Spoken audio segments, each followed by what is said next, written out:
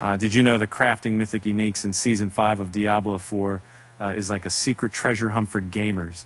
Absolutely, Chermi Yu Yaoshu, her Shenqi, the Motion German. Uh, season five introduces game that could change uh, your next Diablo expedition forever.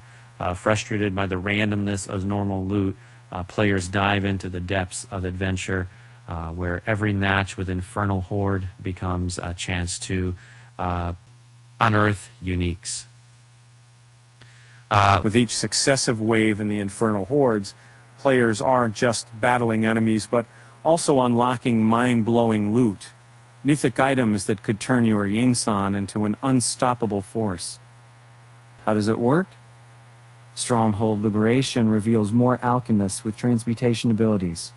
A gold mine requires 50 million and four resplendent sparks, and though the cost can be daunting, Pitfall of Helltides and Nightmare Vengeance yield riches for the Sotu Jun. And the cherry on top, Mother's Gifts and tiered rewards call for tormented boss encounters and defeats, promising the elusive resplendent spark at the most coveted treasure map in Quest.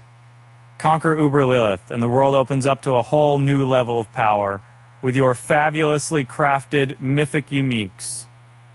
And so, if you're as hooked on Diablo as you're on uh, rewards, uh, don't miss uh, subscribing to our channel, liking this video, and keep that crafting synergy alive. Remember, well-built legendary weapon could make all the difference, but mythic uniqueness takes it to the next level. Time to roll that alchemist, and let's dig deeper together. With that said, thanks for watching. And until next time, let the treasure hunts begin.